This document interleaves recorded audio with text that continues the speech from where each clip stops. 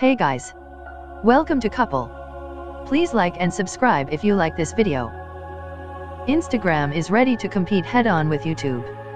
Today at a flashy event in San Francisco, the company announced it will begin allowing users to upload videos up to one hour in length, up from the previous one-minute limit. And to house the new longer-form videos from content creators and the general public, Instagram is launching IGTV. Accessible from a button inside the Instagram home screen, as well as a standalone app, IGTV will spotlight popular videos from Instagram celebrities.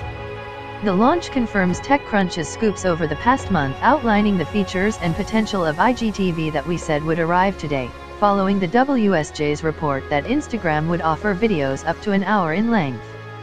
It's time for video to move forward and evolve, said Instagram CEO Kevin Systrom on stage at the event. IGTV is for watching long-form videos from your favorite creators.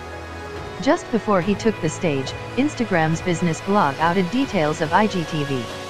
How IGTV works IGTV will let anyone be a creator, not just big-name celebrities.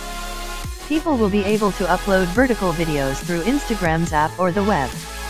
Everyone except smaller and new accounts will be able to upload hour-long videos immediately, with that option expanding to everyone eventually. The IGTV app will be available globally on iOS and Android sometime today, as well as in the Instagram app through a TV-shaped button above stories. We made it a dedicated app so you can tap on it and enjoy video without all the distraction, Systrom explained.